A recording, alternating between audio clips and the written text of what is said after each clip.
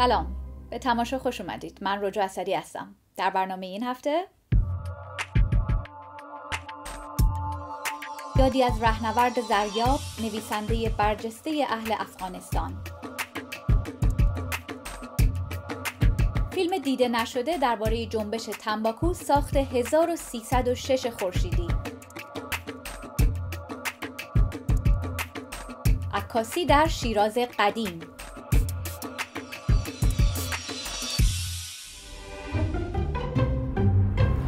محمد اعظم رهنورد زریاب یکی از نویسندگان تاثیرگذار افغانستان هفته پیش درگذشت. از او به عنوان یکی از پیشگامان داستان کوتاه در افغانستان یاد می کنند و بعضیا به او چخوف زبان فارسی میگن. آقای زریاب بیش از 100 داستان کوتاه نوشت.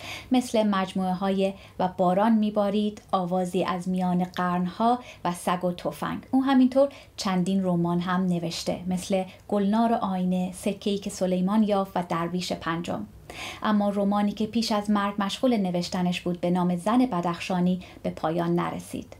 رهنورد زریاب که در ایران هم نامی شناخته شده است به غیر از ادبیات داستانی در زمینه روزنامه نگاری هم از چهره های تأثیرگذار افغانستان به حساب میاد همکارم سهراب سیرت که شاعر هم هست امروز مهمان منه تا درباره رهنورد زریاب با هم صحبت کنیم سهراب داستانهای رهنورد زریاب به لحاظ موضوعی و محتوایی چه ویژگی هایی دارن؟ از نظر موضوع بیشتر داستانهای رهنورد زریاب به روایت های از افغانستان سالهای دهه سیزده چهل می پردازه به زمانی که افغانستان آرام بود و جنگ و جدال و بدبختی امروز را نداشت از نظر ساختارم داستانهای شکل داستانهای مدرن را داره و شکل داستانی که در داستان نویسی غربی رایج است. عنصر تکرار را میشه در رمان بخصوص گلنار آینه زریاب به خوبی مشاهده کرد روایت های داستانش با زبان ساده و گای خیال انگیز ارائه شده و همچنین رگه های از ریالیزم جادویی در داستانهایش دیده میشه اهمیت آقای زریاب در ادبیات معاصر افغان چیه؟ رهنورد زریاب را میگن که آغازگر داستان نویسی کوتاه در افغانستان بود. در سالهای سیزده چهل از اولین کسانی بود که داستان کوتاه می نوشت و در مجلات منتشر می کرد زریاب نوع یا فرم داستانی را هم خودش ساخت به نام داستایت که ترکیب بود از حکایت و داستان یا داستان و حکایت. و کتاب هم با همین فرم نوشت و منتشر کرد به نام و شیخ گفت. و همچنین در کنار این زریاب در تمام این مدت که در افغانستان به سر برد نوشت و فرهنگ داستان نویسی و رمان نویسی در افغانستان را رونق بخشید. رهنورد زریاب تنها یک نویسنده نبود او یک فعال ادبی هم بود. خیلی دغدغه این را داشت که زبان ساده و پاک باشه و به این خاطر متنهای رسانه های مهم افغانستان را ویرایش می‌کرد. عملا بسیاری از خبرنگاران در افغانستان را سواد فارسی می آموخت کارش تا پایان زندگیش ویرایش متنهای یکی از مهمترین رسانه های افغانستان بود که خودش تاثیر گذاشت بر زبان در افغانستان در کل و به خصوص در زبان فارسی در افغانستان. و جدا از این پیش از آغاز جنگ های داخلی افغانستان هم زریاب یک آدم بسیار مهم در عرصه ادبی فرنگی افغانستان بود. او برای مدت رئیس کانون نویسندگان افغانستان شد. قبلش هم در مجلات بسیار مهم مسئولیت های اصلی را داشت. در زمانی که رئیس کانون نویسندگان افغانستان بود یک ارتباط خوب با نویسندگان فارسی زبان در منطقه از جمله با ایران برقرار کرده بود و در رفت آمد بودن و به این لحاظ هم بنیادهای فرهنگی که در افغانستان گذاشته شد بعد از دهه چل زریاب یکی از پایه های اصلی و یکی از آدمای اصلی بود که در این زمینه نقش داشت به نظر تو رهنورد زریاب از کدوم نویسنده ها تاثیر گرفته؟ خودش می‌گفت در آغاز کار داستان نویسیش از داستانهای محمد حجازی تاثیر پذیرفته بود. داستان نویس ایرانی که چندان شناخته شده نیست در حال حاضر. اما بعدتر وقت با داستانهای صادق هدایت بزرگ علوی صادق چوبک و دیگران آشنا شد. در این میان خودش می‌گفت که بیشترین اثر را از صادق هدایت پذیرفت. بعد از او زریا به مطالعه کلاسیک های روس و غرب پرداخت و از جمله داستایوفسکی و آلبر کامو را خیلی میپسندید. در کتاب های بعدیش هم میشه تاثیر ادبیات داستانی آمریکای لاتین را مشاهده کرد به خصوص از گابریل گارسیا مارکز. میراث رهنورد زریاب و تاثیرش بر نویسنده های نسل جوان از جمله خودت که شاعری چی بوده؟ زریاب بعد از اینکه در دهه 1370 به فرانسه مهاجرت کرد بعد از نسل که بعدا ظهور کرد چندان با کارهای او آشنا نبود. و بعد از اینکه او در سال 1382 به افغانستان بازگشت یعنی بعد از سقوط طالبان همزمان رمان گلنار آینه او چاپ شده بود. نسل نو افغانستان با این رمان زریاب را شناختند و شیفته شدند. چرا که رمان یک زبان ساده داشت محتوای عاشقانه داشت و همچنین اتفاقات که در این رمان افتاده برای نسل نو افغانستان بسیار جالب بود. چرا که از دوره بیغلاغش یا دوره که افغانستان در آرامی به سر می برد حکایت می کرد جدا از این بسیاری ها با همین رمان از جمله خودم نگارش فارسی را یاد گرفتیم و اینکه زریاب تسلط بر زبان داشت و در واقع استاد مسلم نسل نو افغانستان شمرده می‌شد به همین دلیل بود و از طرف دیگه رمان های بعدی زریاب که چاپ شد نسل نو افغانستان با فرهنگ رمانخانی آشنا شدن. زریاب عملا یک مرجع بود برای بسیاری سوالاتی که برای نگارش فارسی در افغانستان پیش می آمد. کلمات و اصطلاحات و حتی دستور زبان. می‌دانیم که چند دستگی در سطح زبان فارسی در این زمینه وجود داره. و وقت مشکل پیش می آمد زریاب به عنوان منبع ذکر می شد. می گفت نه رهنورد زریاب چونین واژه را چونین نوشته یا چونین گفته یا و زریاب زنگ می زدن و از اون میپرسیدن که نظرش چیست. به این لحاظ تاثیرگذارترین آدم بود که در سالهای اخیر در زمینه زبان فارسی و ادبیات فعالیت می‌کرد.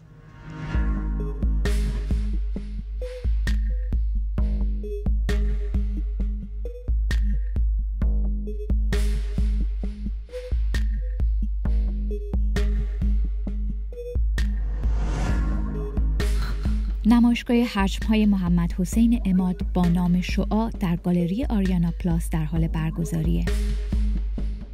اماد یکی از چهره های شناخته شده مجسم سازی ایران در نزدیک به سه دهه گذشته است. مواد من مساله اغلب کارهای او چوبه و گاه فلز و مواد دیگر رو هم در کارهاش استفاده می‌کنه. در کارهای این نمایشگاه اماد به ایده حجم های توخالی پایبند مونده و مخاطب را به نزدیک شدن و سرک کشیدن به داخل کارها تشویق می‌کنه. مجسمه های او به فرم های طبیعی نزدیکند و به نظر میاد ماهیت چوب و درخت در بخش های از کارها حفظ شده. لایه بیرونی همه این کارها چوبیه و با برش زدن و چسباندن به شکل های مختلف در اومدن. کارها همه در فضای نمایشگاه آویزان شدند و از پایه مجسمه هم خبری نیست. بیننده می‌تونه به شکل‌های مختلف داخل همه این آثار رو ببینه. گاهی دهنه حجم اونقدر بزرگه که سر انسان کامل درش جا می‌گیره و گاهی سوراخی به اندازه چشم در کار ایجاد شده و از اون طریق میشه فضای خالی داخل کار رو دید. در یکی از کارهای نمایشگاه بخش درونی حجمی که در ارتفاعی هم سطح سر بیننده نصب شده رنگ سفید یک دست خورده. در سطح بیرونی مجسمه همون چوب طبیعی و خراش خورده آشنای اماد رو می‌بینیم.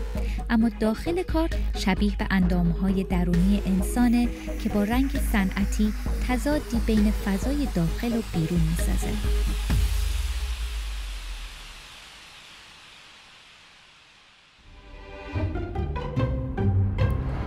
تاریخ سینما فیلم های ارزشمند اما کم دیده شده زیاده. یکی از این فیلم ها اثری سامت از سینمای شوروی درباره جنبش تنباکو در ایران به نام خسپوش.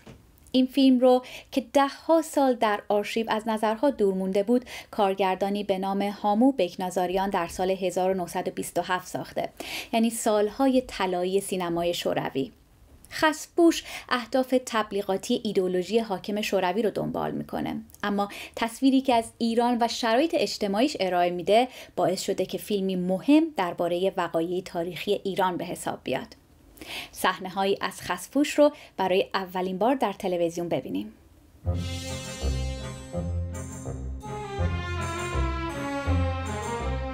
در سینمای سامت تضاد بین تصویر هالیوودی و تصویر روسی ایران از زمین تا آسمان بود. ایران برای هالیوود سرزمین فانتزی های اورینتالیستی بود. اما برای سینمای شوروی ایران کشوری بود مستعد انقلابی مردمی.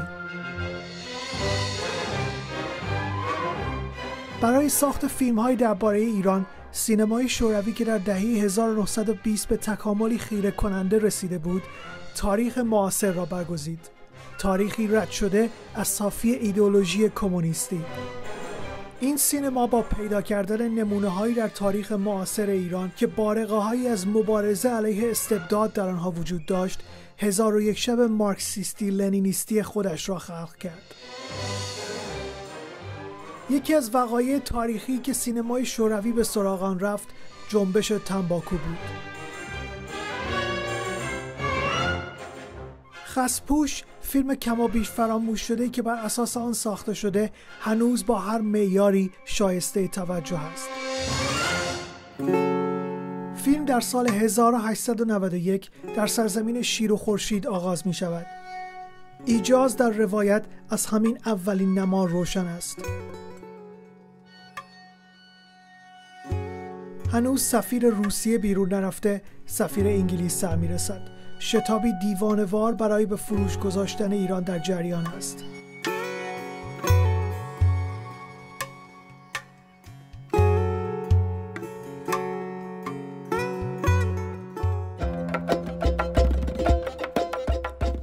از کاخ به کاروانسرایی در نزدیکی تهران می رویم. این یکی از مکانهای اصلی داستان و سمبل سرزندگی دنیای مردم عادی است.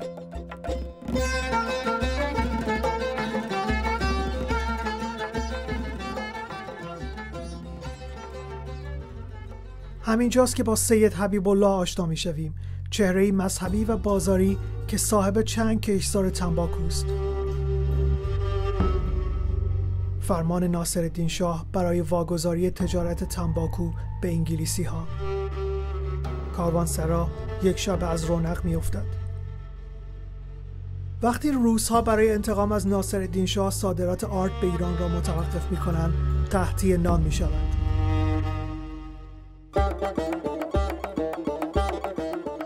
به موازات داستان درباریان، بازاری ها و روحانیون فیلم داستان کشاورز ساده به نام رضا را روایت می کند. خشکسالی محصول گندم رضا و پدرش را از بین می‌برد و آنها را محتاج نان شبشان می کند. در واکنش به قرارداد تنباکو مردم دست به دامن مرجع تقلید می شوند. این شخصیت که معادل میرزای شیرازی است فتوای تحریم تنباکو را صادر می کند.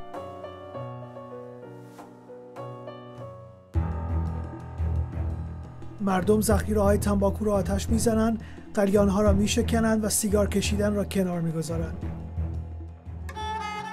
اما فیلم در این حال نشان می‌دهد که روحانیت خودش در تجارت تنباکو زینف است و این تحریم فقط برای مبارزه با شاه یا استعمار نیست بلکه برای کنترل دوباره بازار است. مبارزین واقعی انقلابی های ژنده پوشی که خسپوش نام دارند.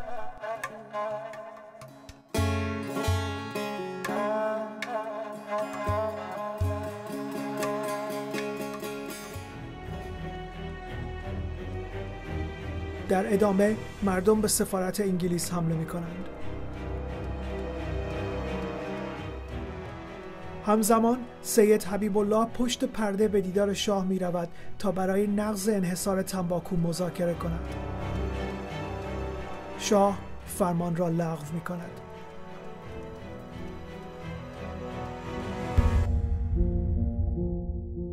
کارگردان فیلم هامو بکنازاریان ارمنی است. او از سال 1914 در فیلم های روسی بازی می کرد و در سالهای جنگ جهانی اول ستاره حدود 70 فیلم بود.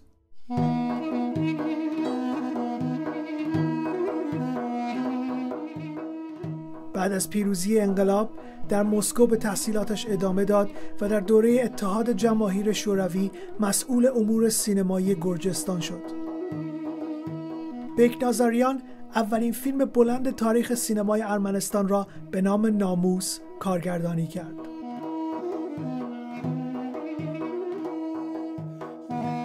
او در فیلمهایش بارها به باورهای سنتی و مذهب حمله کرده است از جمله در این یکی از فیلمهای ساخته شده در دفاع از حقوق زنان فیلم در جامعه کردهای ساکن ارمنستان میگذرد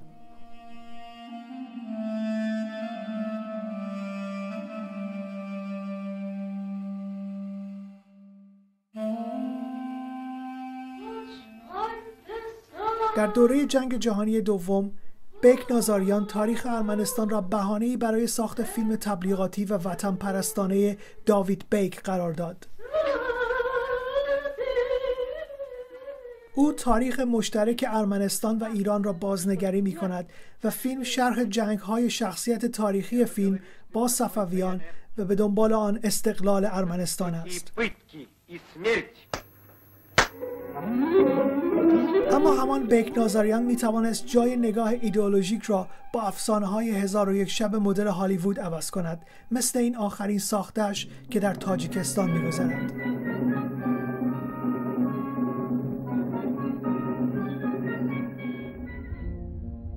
با همه اینها خسپوش احتمالا هنوز کاملترین و بهترین ساخته بیک نازاریان است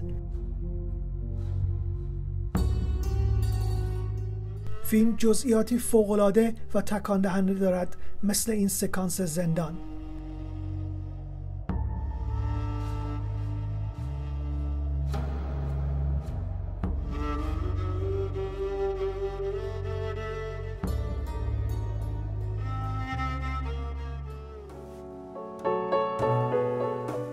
خسبوش شکست جنبش و کشته شدن رضا تمام می شود اما بیشتر از اینکه پایانی تلخ باشد پایانی باز و نوعی پیشبینی وقایع آینده سرزمینی است که تصویر می کند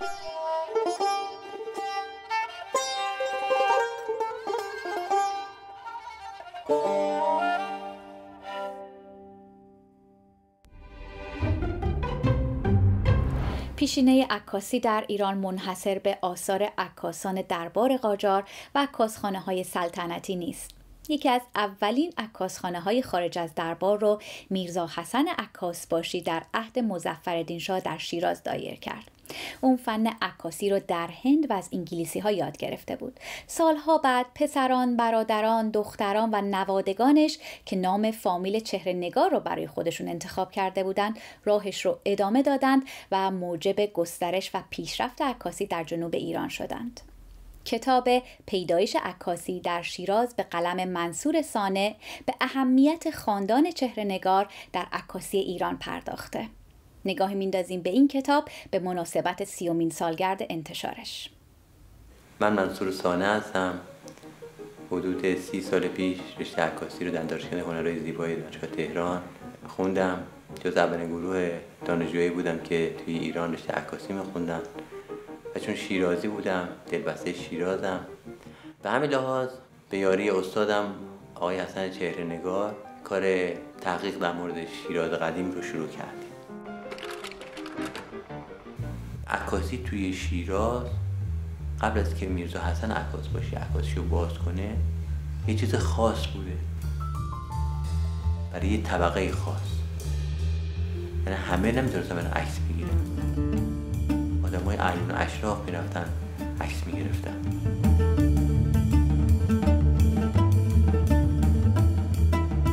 میرزا حسن عکاس باشه خب یه عکاس خونه که باز می‌کنه مردمی بوده. یعنی خونهش رو می‌کنه عکاسی اولین عکاس خونه بودی که تو شیراز باز میشه. و مردم عادی هم می‌تونستن برن عکس بگیرن.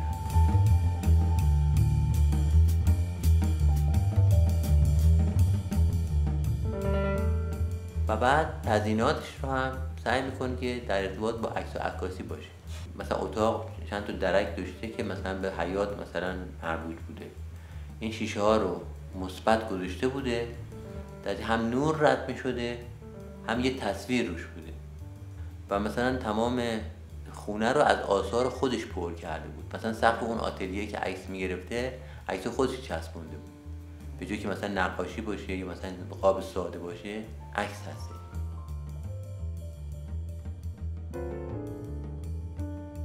عنوان چهره نگار به خاطر کاری که می‌کردن این فامیل رو پیدا کردن.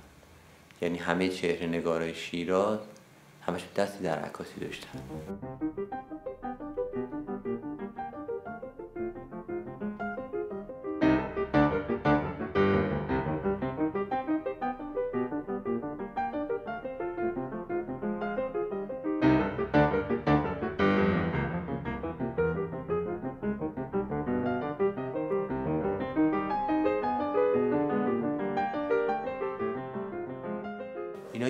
نسلی بودن که خیلی اولا علمی برخورد می‌کردن با عکاسی. و بعد دوراندیش بودن یعنی جلوتر رو می‌دیدن. مثلا می‌رفته با او وسایل قدیم تخت جمشید که مثلا باید دوربینش بار قاطر می‌کرد. دوربین بزرگ بوده. برای شیشش مثلا 24 درسی وقتی باشه دوربین اینقدره. بعد می‌رفته مثلا پشت قاطر میشتن تو ناامنی اون موقع.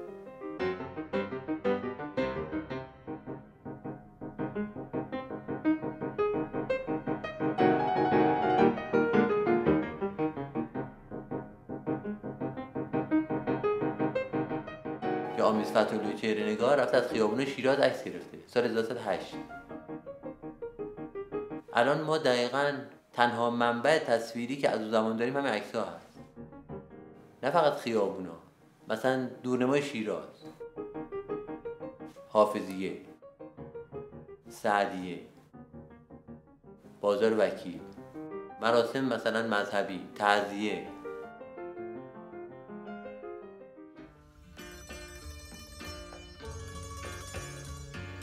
یه سری عکس ها مال هنده اینا کار خود میرزا حسن.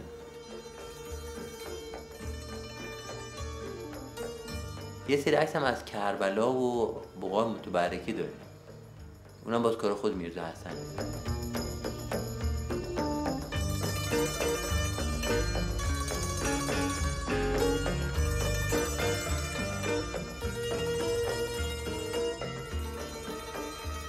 اثر جنگ اول جهانی که پیش میاد ورود شیشه های عکاسی به ایران با تاخیر رو میشه. حبیب الله خان چهره نگاه یه دستگاهی درست می‌کنه خیلی ساده. با دو تا چرخ دنده و یه دسته یه سینی هم روش بوده. که اینو که میچرخونده این سینی میچرخه با میاد شیشه شیشه معمولی. میذاشته روی این سینیه تو تاریکی مطلق. ماده حساس رو هم درست کرده بوده امولسیون رو. میریخته روی این. و اینو میچرخوندن این پخش می‌شده. بر اثر قوه گریزه مرکز یه دست پخش می‌شده. این میشتم خشک میشه. بعد میشن دوربین استفاده میگن از شیشه آکفا و کوداک بهتر بوده. یه عکس گرفته تاگور تو آرامگاه سعدی. با همون شیشه گرفت. سرسای بالا می‌گیره. همه از این شیشه ها می‌خوان. شیشه که آقای چهرنگار درست کرد. بعد یه روز یه ماشینی چند تا مفتش دولت توش بودن. میاندم عکاس خونه انگولا خان. میگن بفهم پایین سوار ماشین می‌کنن. تبیدش می‌کنن. میگن تو چرا این کاری کردی؟ کمپانی کداک آکفا بس از کجا نون در بیارن؟ هیچ. تمام پروسه تموم میشه.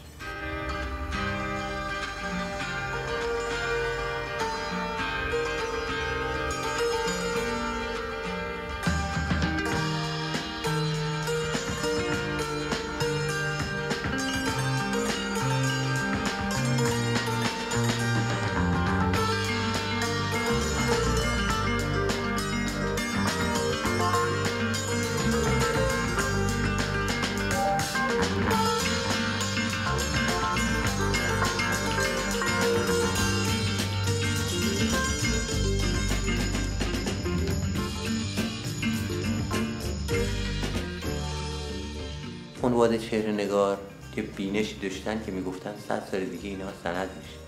یعنی اینا واقعا از در فرهنگ خیلی خدمت کردن به این شهر و به این مملکت و به این فرهنگ. این کارهایی که ما کردیم در حقیقت ادای به اینا که وقتی مردم دو نسل دیگه سه نسل دیگه بیان برگردن به کتاب رو نگاه کنن بفهمن که شیراز چه موقعیت داشته فرهنگش تو مردمش تو.